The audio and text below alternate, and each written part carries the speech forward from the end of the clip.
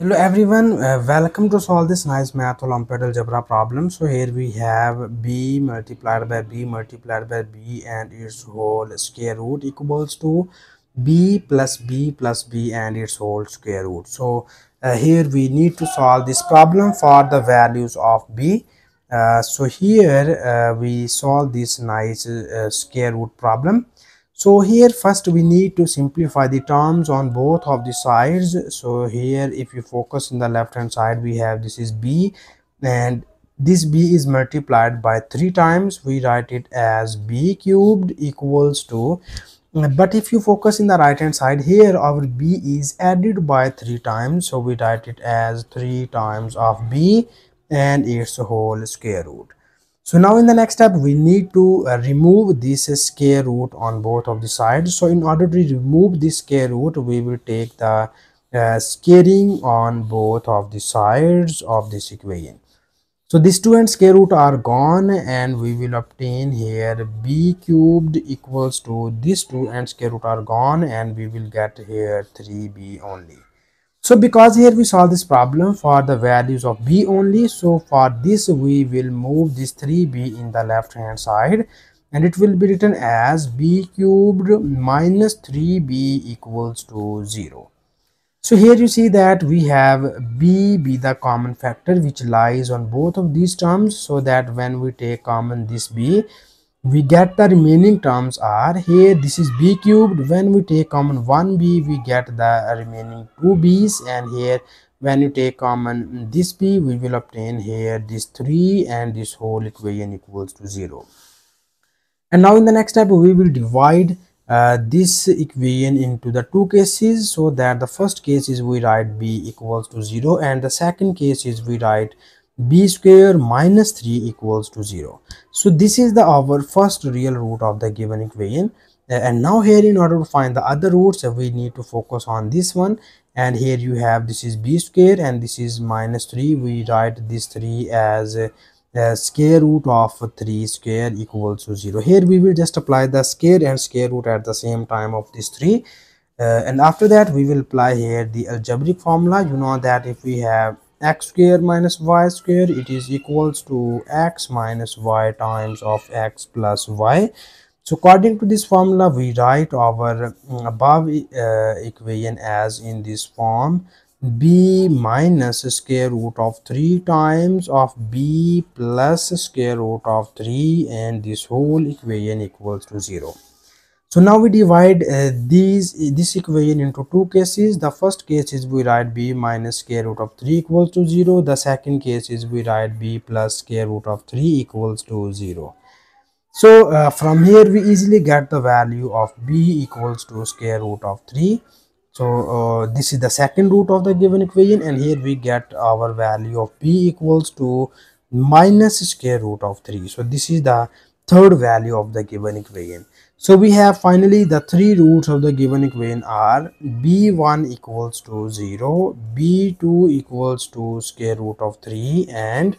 b3 equals to minus square root of 3. So these are the three roots of the given equation. And now here in the next step we need to verify these three roots uh, so that in order to verify these three roots we first need to copy down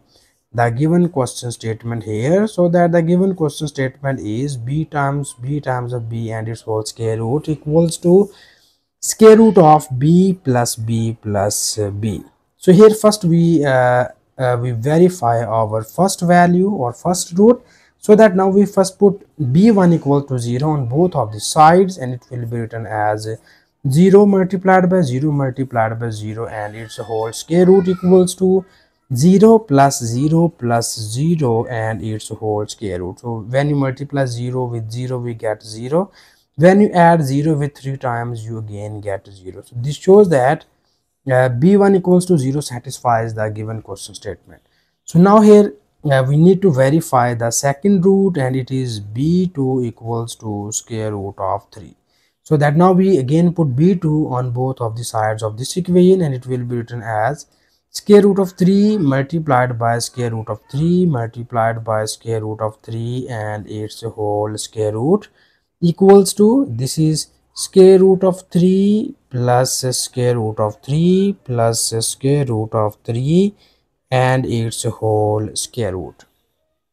So uh, if you focus here we write this square root of 3 and square root of 3 this will be when we move this will in uh, outside this square root it will becomes square root of 3 times of uh, square root of square root of 3 and this is equals to here you have 3 square root 3 square root 3 becomes here 3 times of uh, square root of 3 uh, and its a whole square root. So when you separate the square root uh, then uh, you will get here uh, square root of 3 times of square root of 3 into square root of 3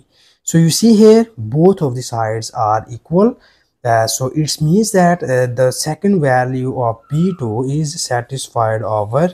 given question statement okay? So because left hand side is equals to right hand side. And now here in the next step we will uh, verify the uh, third root of the given equation. So uh, in third root uh, we first uh, write our third root of the given equation is b3 equals to minus times of square root of 3 so now here uh, we will substitute the third root on both of the sides of the given equation. So the left hand side of the given equation are uh, this is uh, b times b times of b. So the value of b is a minus square root of 3 so it will be written as a minus square root of 3 multiplied by minus square root of 3 multiplied by minus square root of 3 and this is equals to square root of uh, this is minus square root of 3 minus square root of 3 minus square root of 3 so if you focus in the left hand side we see here when you multiply these two values it will be written as minus square root of 3 and its a whole square and its whole square root and inside the square root we have minus times of square root of 3 and this is equals to when you sum up these three values it will be written as minus 3 times of square root of 3 and its whole square root.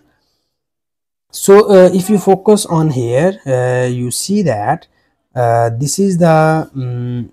these three and this square root are gone and this minus is also gone. So we will get here in the left hand side we get 3 times of minus square root of 3 equals to uh, here uh, we have minus 3 times of square root of 3 so here uh, we write our left hand side as minus 3 times of square root of 3 equals to minus 3 times of square root of 3 so this shows that left hand side equals to right hand side. Uh, it means that the third root of the given equation also satisfies the given question statement. This is the final answer and thank you so much for watching this video. Please subscribe to my channel for more exciting videos